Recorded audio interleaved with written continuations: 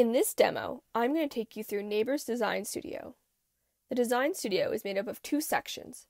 The first is where you tell us your home preferences, and the second is where you browse available homes and reserve your home with a $1,000 refundable reservation fee. Let's start with layout. Browse some more one, two, or three bedroom layouts.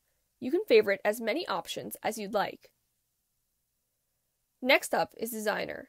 The default design is from Nabr. Think California casual meets high design. It's a natural, warm, and neutral canvas you can customize to your lifestyle. We have a few designer collections coming soon. These are limited edition, premium collections from world class designers. Now, on to features. Here, you can start favoriting features from our menu. You'll see categories like outdoor living or high design, which include items like a feature wall. Keep in mind that none of the choices you make here are final. You'll have continuous opportunities to refine your home design and features, even after you reserve your unit. But don't worry, we will let you know along the way when you have to lock in your selections. The last section in Home Preferences is Add ons. Here, you can select options that aren't part of your home's physical design, like a parking space or extra storage. Once you've completed your home preferences, the Design Studio will show you available homes.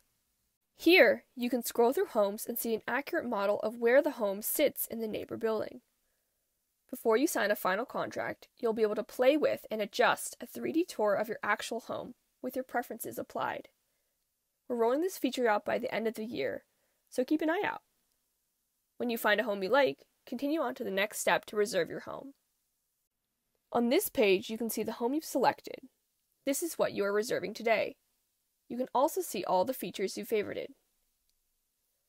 You'll also have an option to indicate whether you'd like to be considered for Nabr's Lease to Purchase program, LEAP. Spots for LEAP are limited, as it's a pilot program for now. If you think you might be interested, check the box, and we'll reach out to discuss whether LEAP is a good match for you. Checking out involves two steps document review and payment. Let's start with document review.